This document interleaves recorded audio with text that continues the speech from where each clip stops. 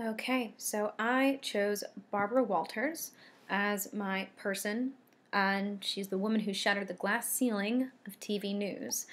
Barbara was born in 1929 in Boston, and she was born Jewish, even though uh, her parents weren't practicing. She had an older brother that she never got to meet because he died of pneumonia in 1932, and she had an older sister named Jackie, um, for short, who was born with. Um, she was developmentally disabled and died of ovarian cancer. Uh, Barbara dedicated her memoir audition to her sister Jackie and to her daughter, whose name was also Jacqueline, uh, named after her sister and her mother. And she dedicated it because she believes that Jackie had a very strong impact on her life and gave her a lot of empathy for people. Her father was named Lou Walters, and he was a very interesting man to grow up with as a father. He basically was a financial roller coaster in her life because uh, he was in the biz of show business. So Barbara experienced the lows of poverties and the highs of being very wealthy. Lou moved their family around a lot, so they moved from Boston to Miami to New York back to Miami again. And um, while growing up with her father, uh, Barbara was surrounded by celebrities, and she believes this is why she's so relaxed and candid when interviewing famous people. Because they moved around so much, she jumped between three different high schools one in uh, Boston, one in Miami, and one in New York. She graduated from the one in Miami Beach High School, and she graduated college uh, with a bachelor's degree in English. Now, starting out in her career, she had a brief stint as a secretary until she got her first journalism job and um, underneath Tex McCrary. And that is where she sharpened her writing and producing skills until she was hired to write for the morning show. So then she joined the Today Show in 1961 as a reporter, as a researcher and a writer. And initially, she covered uh, fluff pieces, and it was a hard job to get because she was um, one out of seven people who was only a woman in the newsroom, saying that you didn't get to be the female writer unless the other one got married or died. So eventually, she got to become the Today Girl, um, after a few months of writing fluff, she got fed up with it and lobbied for a big uh, breakthrough assignment that she got and did so well on that the network gave her more responsibility as a reporter, writer, and panel member on the show. So in 1961, she landed her first on air assignment.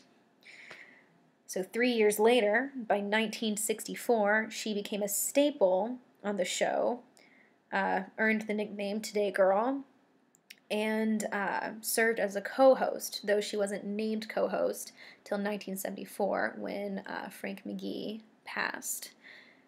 By being the first female co host, Walters made history on the Today Show. Um, ironically enough, though, she was restricted from asking serious questions of the guests until the male co host had finished asking his, which is very ironic because Walters is known for asking the tough questions. So, despite that sexism, for lack of a better term, in that career, she still was able to hone in on her trademark interviewing skills and establish herself as a competent journalist.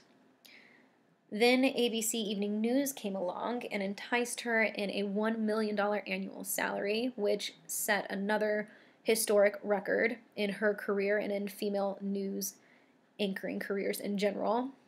Um, so she accepted the job, becoming co anchor of a network evening news program.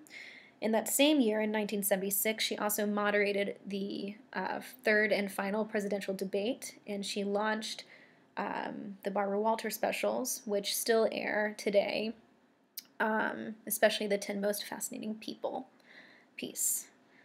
Now, despite her success, haters are going to hate, and many critics were skeptical of her qualifications to the point that they questioned the move of her becoming the news anchor as a publicity stunt. Uh, one of the most outspoken was actually her co-anchor Harry Reasoner, and even though ABC's market research indicated that males new, male news anchors were not exclusively preferred by the audience, uh, they still kind of blamed her in a way for the lack of viewers, even though the lack of viewers was because there was a lot of tension between the two of them. So in two years, the network released Walters, and she went to join 2020. And her first year there, she scored an exclusive interview with uh, President Richard Nixon. By the fall, she was a regular contributor, and by 1984, she was a co host. And she was co host and chief correspondent for about 20 years. Her salary of 1 million eventually moved up to 12 million dollars yearly, making her the highest paid news host in history.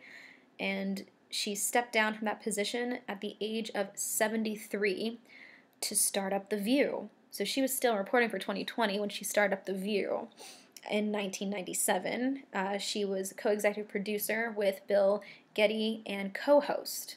She wanted to create a program that featured unique perspectives on various topics um, with a large panel of only women. So the people on the left is the first panel of women on The View, with Barbara hanging out there in her blue scarf. By 2013, she decided to make the announcement that she was going to retire from TV journalism. Uh, she said, I don't want to appear on another program or climb another mountain. I want instead to sit in a sunny field and admire the very gifted women, and okay, some men too, who will be taking my place. Her last episode aired May 16, 2014. So everybody kind of scoffed at the idea of her retiring. Uh, even Diane Sawyer said, I don't believe she's going to. Uh, and it was true. She still does special events and things like that, like the 10 most fascinating people each year. She's won a ton of awards throughout her years. I don't even think that's all of the awards she's won. That's just everything I was able to find. Um, multiple Emmy Awards, and she accepted her Lifetime Achievement Award in 2000, which is crazy because she stopped doing The View in 2014. So, still had a lot of lifetime left to live. Now, her personal life was a bit more scattered. She had three ex husbands, but four divorces uh, Merv Adelson, they were on and off. He's the one pictured on the left. And then with Lee Guber, she had her daughter, Jackie, uh, her adoptive daughter.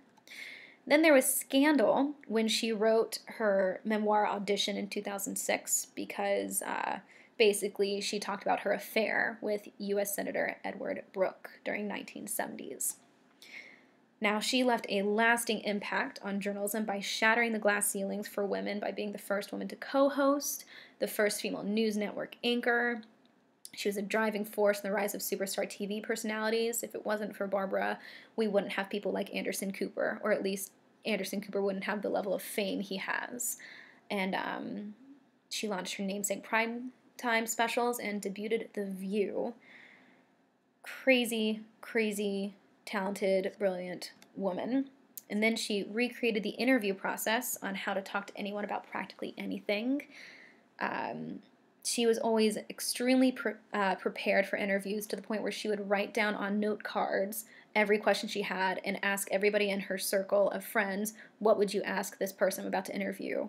To the point that she asked Audrey Hepburn what kind of tree Audrey would be, and Audrey said, I would be an oak because they are strong and beautiful you know, Barbara had a knack of providing viewers with a three dimensional view of these larger than life personalities.